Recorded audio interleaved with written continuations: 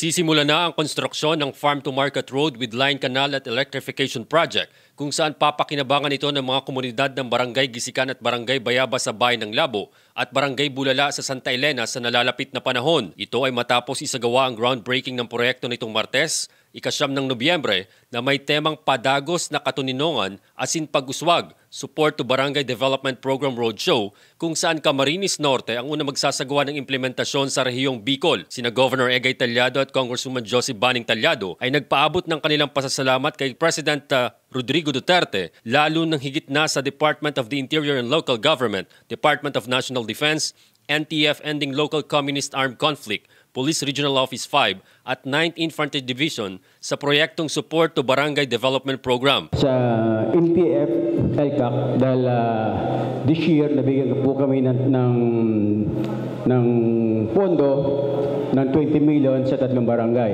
Yan nga, Bayabas, uh, Gisikan at Barangay Bulala. So, napaka napa, napakalaking bagay sa sa mga taga-barangay itong mga itong mga programa.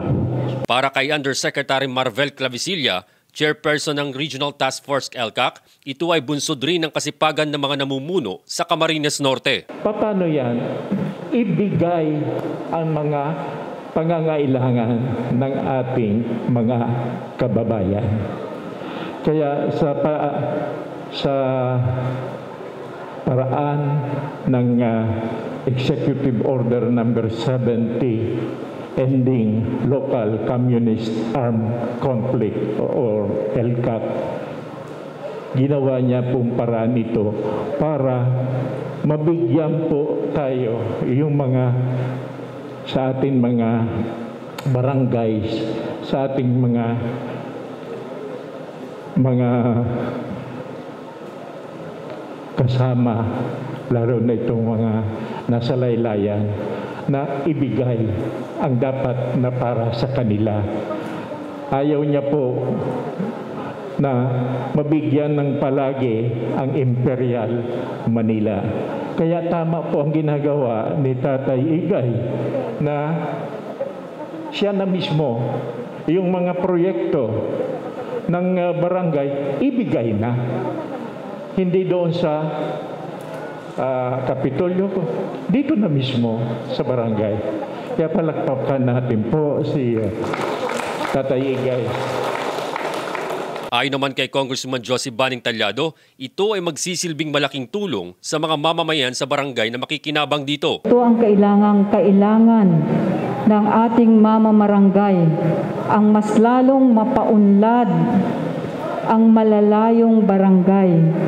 At dito sa Camarines Norte po, sa halos uh, ilang taon na rin namang pag-iingkot ng inyong lingkod, nakita at nararamdaman ninyo na sa malalayong barangay nandyan ang mga proyekto.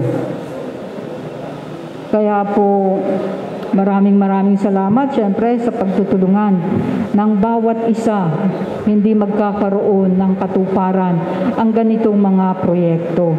Maliban kay Undersecretary Marvel Clavicilla ay naging panauhin din sa programa sina Undersecretary Marlo Iringan na siyang Undersecretary for Local Government ng DILG, sina Deputy Director General Vicente Agnamag na kumatawa naman kay Secretary Hermogenes Esperon Jr. at sina Major General Henry De Robinson Jr.